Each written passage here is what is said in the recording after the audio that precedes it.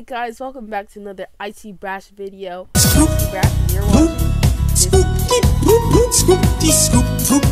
Okay, but on a serious note, I'm going to be teaching you guys how to record or stream Fortnite mobile or Call of Duty mobile, any mobile game or anything on your phone, and get it onto OBS and stream it on YouTube, Twitch, uh, Mixer, whatever you want. So first of all, what you want to do is go to your laptop or PC, and I'm going to make this very clear. You need a laptop or a PC, a functioning one.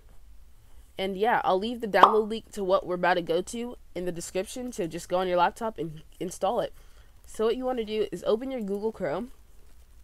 Oh, um, that's not. So what you guys want to do first is go to lonelyscreen.com. You're going to search that in and you're going to check these out. If you have a Mac, you're going to go all the way down and scroll here and press the here button to download if you have a Mac. If you have a Windows computer, you're going to stay on this screen and press download for Windows. Make sure you click the download tab though. Okay. If you want it to be like a clear 1080p, 720p kind of thing, what you want to do is buy any of these versions, the licensed versions, because this one's just a little blurry and it gets a little glitchy usually, but it still functions perfectly fine. So you're going to press download for Windows, which I already have it installed. So once you have it installed, just X out of it. Okay, next up, you're going to want to go to Lonely Screen, open it up on your computer, which I already have downloaded. Okay, so next up, you need your phone or iPad or whatever you want to stream with. Okay, this is the screen I was talking about. This will always come up every day. Every time you open it up, you're going to see the screen. You always want to click maybe later if you don't want to pay for it.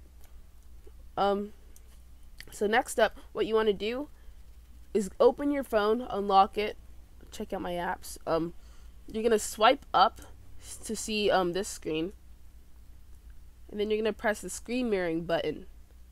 And then you're gonna have the options. I have Apple TV, which is my neighbor's, and then uh, the lonely screen is mine, which we will see pop up on the screen once we tap it. Boom.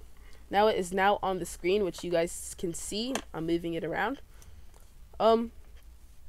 So yeah, that's how you set up your phone to go to lonely screen, which will go on your computer. So I'm gonna open up Fortnite here, then how to get it on your computer, you may ask. You're gonna want to press Add Source and then you're going to head to the window capture button. You're going to press OK. You can name it if you want. And then you have options here. You're going to press Lonely Screen AirPlay Server. Then you're going to press OK again.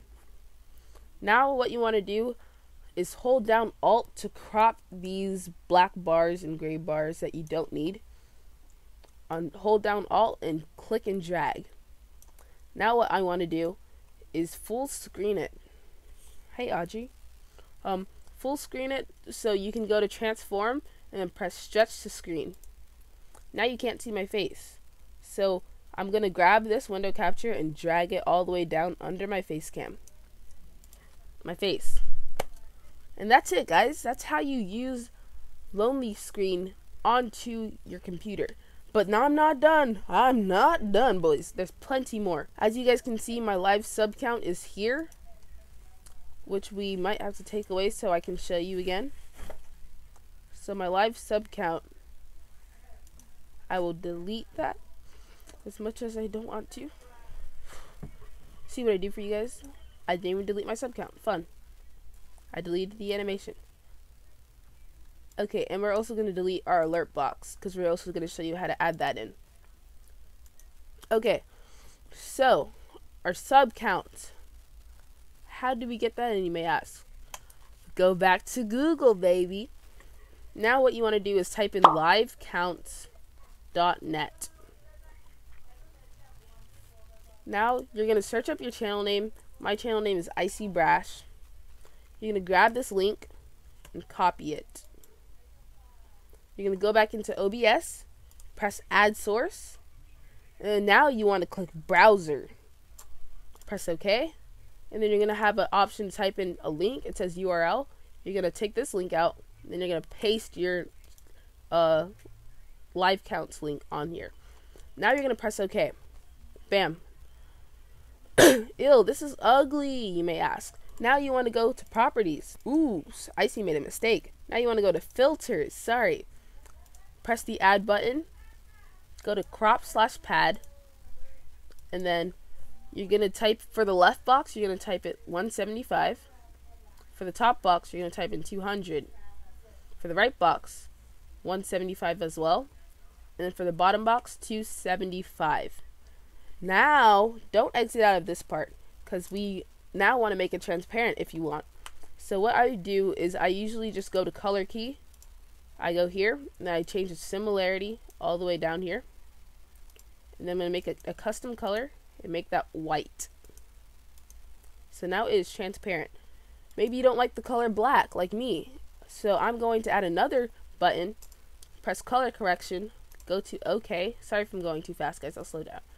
Then we're going to press select color. And let's say I want this color. We're going to press OK and boom.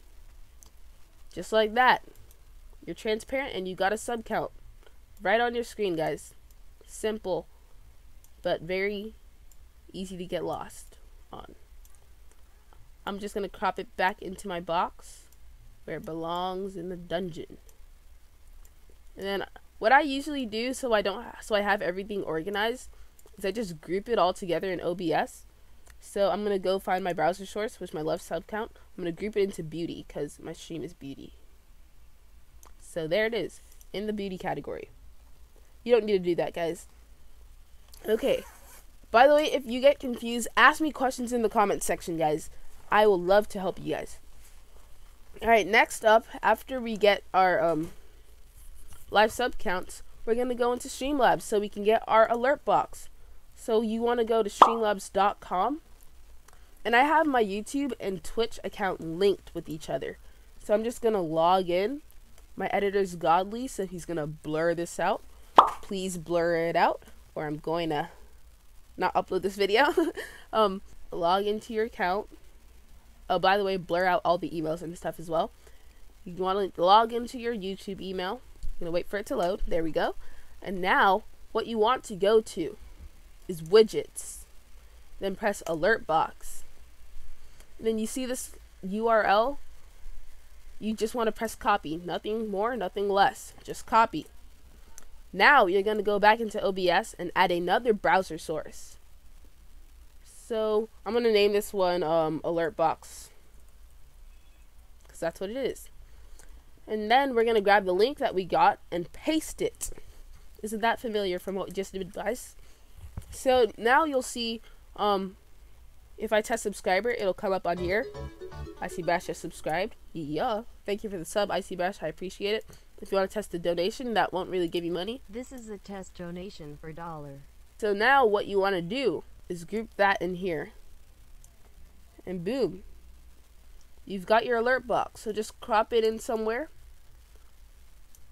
And that's it, guys. You've now added your sub count and alert box into OBS. So that's basically how you set up your stream without an Elgato. If you guys want to know how to set it up with an Elgato using game sound, I will make another video. Let me know in the comment section for yeah, future reference. And yeah, that's been it for this video, guys. Make sure you drop a like on the video, subscribe to the channel if you're new. And yeah, we'll have plenty of more content on helping you guys set up your streams, growing your channels and everything. So yeah, make sure you come back and check me out. Cause we lit, baby. Alright, um, I'll catch y'all later in the next one. So, peace.